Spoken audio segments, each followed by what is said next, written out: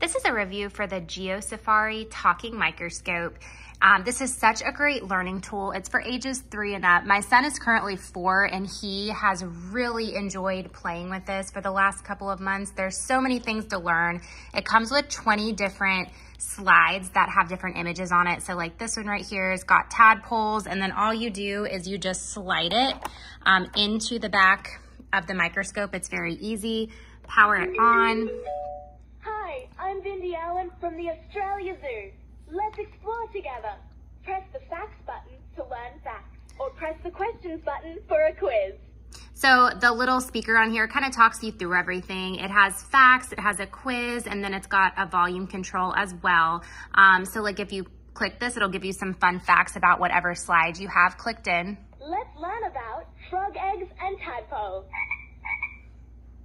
A tadpole has no mouth when it first hatches. Catch you later.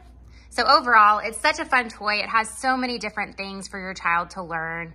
Um, again, my preschooler absolutely loves it. He plays with it all the time at home, and it's great for independent play. This is the GeoSafari Talking Microscope.